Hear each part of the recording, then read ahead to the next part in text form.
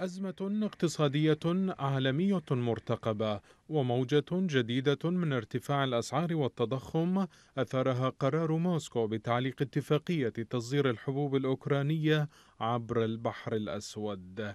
موسكو بررت قرارها عقب الهجوم الذي استهدف سفنا عسكرية ومدنية تابعة لأصولها في البحر الأسود بشبه جزيرة القرم وهو تبرير نددت به أوكرانيا معتبرة إياه ذريعة كاذبة.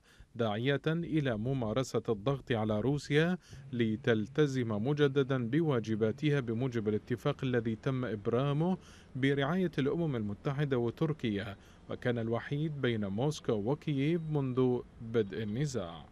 صحيفة وول ستريت جورنال عدت قرار روسيا ضربة كبيرة لصناعة الزراعة الأوكرانية المهمة عالميا والتي عادت إلى مستوى ما قبل الحرب بعد تصدير كييف أكثر من تسعة ملايين طن من المنتجات الغذائية وفقا للأمم المتحدة.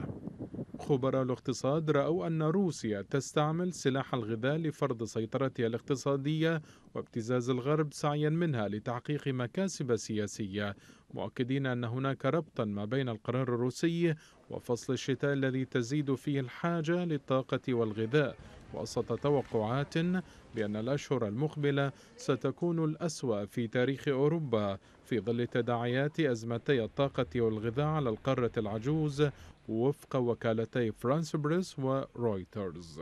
ويفاقم القرار الروسي من أزمة ارتفاع أسعار الغذاء في العالم وسط تغيرات مناخية تؤثر على الأمن الغذائي العالمي ما يزيد من التحديات الاقتصادية في العالم ومنطقة الشرق الأوسط التي تعيش على وقع ارتفاع الأسعار وزيادة نسب التضخم ولا سيما العراق الذي أنهكه الجفاف والتصحر وزيادة البطالة والفقر.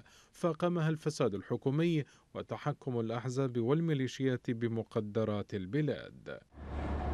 هي إذا أزمة غلاء ستعيشها المعمورة بأسرها تنذر بارتفاع أسعار الغذاء العالمي المرتفعة أصلا.